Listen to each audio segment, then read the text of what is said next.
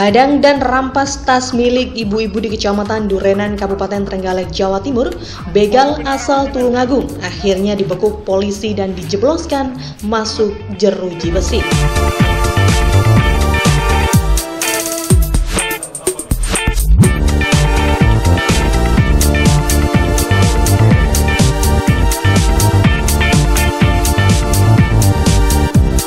Begalan yang terjadi di Kecamatan Durenan ini berawal saat korban Siti Rofiah, warga desa Pakis, Kecamatan Durenan hendak pulang usai berbelanja bersama anak perempuannya.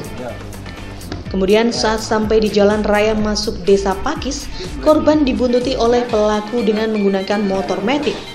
Kemudian dihadang dan dirampas tas korban yang berisi uang tunai, ATM, KTP, dan surat pembelian emas.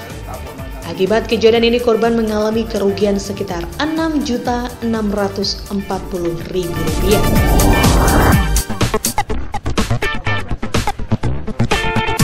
Kapolsek Durenan AKP Solihin mengatakan kejadian perampasan tersebut terjadi pada 8 Juli kemarin sekitar pukul setengah 6 sore. Kemudian setelah dilakukan penyelidikan, akhirnya petugas berhasil menangkap pelaku atas nama Dedi Hermawan, warga Kecamatan Kauman, Kabupaten Tulungagung, beserta barang buktinya yang berupa uang tunai, motor, dan beberapa barang bukti lainnya.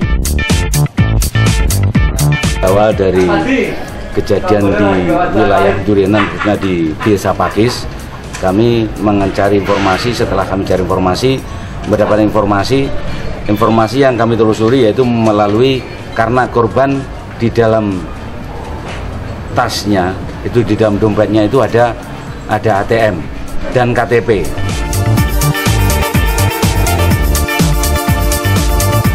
Saat ini pelaku bersama sejumlah barang bukti sudah diamankan di Mapores Trenggalek guna proses hukum lebih lanjut.